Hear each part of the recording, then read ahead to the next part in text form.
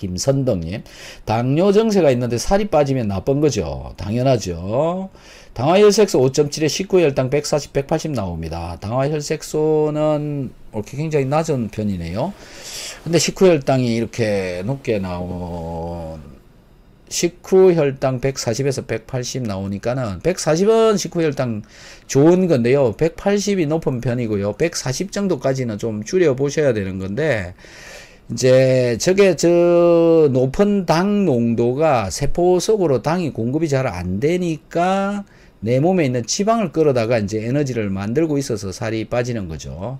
살이 쭉쭉 빠지면은 안 되죠. 네. 그래서 일단은 기본적인 그 관리를 한번 해보세요. 기본에 충실한 관리. 유튜버 찾아보시면 됩니다. 그런 거 좀 찾아보셔서 하시고요. 비, 소화가 우선 잘 되게 한번 해보십시오. 당 농도 높으면 어딘가 문제가 있습니다. 그게 첫 번째가 소화입니다.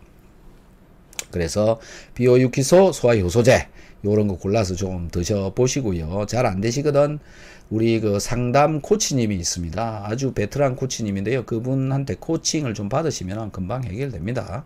한번 해보시면 좋을 것 같습니다. 도전해보